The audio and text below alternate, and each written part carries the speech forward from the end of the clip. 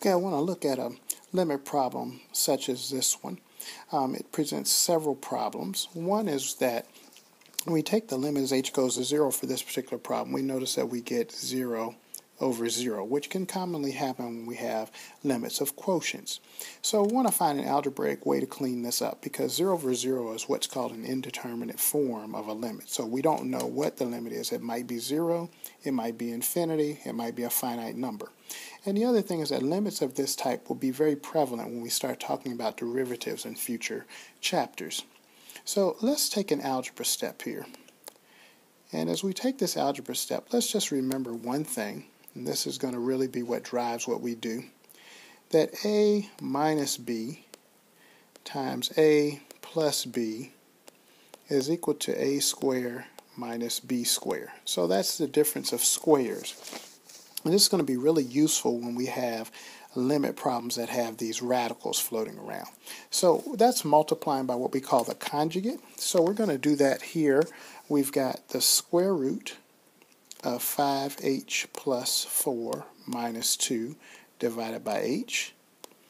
And we're going to multiply the top and the bottom of this fraction by the conjugate of that square root of 5h plus 4 minus 2. So that would be the square root of 5h plus 4 plus 2. And then we're going to divide by the same so that we don't change the expression. 5h plus 4 plus 2. All of that stuff on the right hand side in the green, if you look at it, it's just 1. So I've not changed the actual problem that I'm trying to solve, which is this one up here. Okay, so that's all the same. So looking at this, we see that the consequence of multiplying by the conjugate is that square root of 5h plus 4 minus 2 times the square root of 5h plus 4 plus 2 is going to be a squared, and this is a, and then it's going to be minus b squared. So that's b. So that's going to be the square root of 5h plus 4 all squared minus 2 squared, which is 4. And then that will be divided by, well, what's left? There's an h in the first fraction, and then there's still a quantity square root of 5h plus 4 plus 2. And I'm going to be careful with the parentheses because I don't want to mess up my algebra steps. Okay, let me go ahead and see if I can't cut and paste this. So I'll copy that up. And I'm going to paste that on this other page over here so we can see it. Okay. So, um, and this term right here to get the square in there.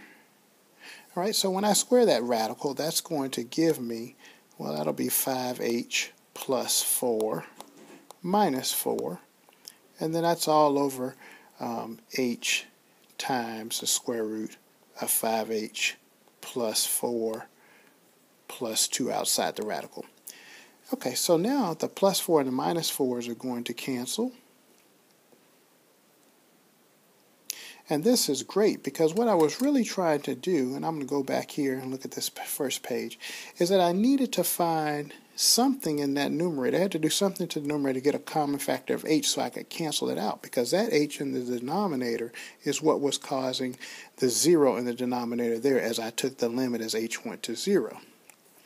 So this is looking pretty good because what you see now is that after I simplify this, the algebra gives me 5h divided by h times the square root of 5h plus 4 plus 2.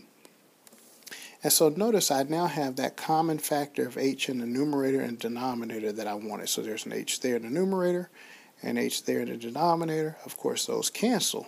And that's great because that h in the denominator is what's causing the 0 when I take the limit. So once this is simplified up nicely, then this becomes 5 divided by the square root of 5h plus 4 plus 2. And now I'm ready to take the limit and finish the problem. So the limit as h goes to 0 of 5 over the quantity square root 5h plus 4, then plus 2 on the outside. Well, as h goes to 0, that h right there becomes a 0. And so that's 5 times 0. So what I have under the radical now, I'm ready to just finish this thing. It's 5 over the square root of 4 plus 2. Square root of 4 is 2, and 2 and 2 is 4. So this is 5 fourths.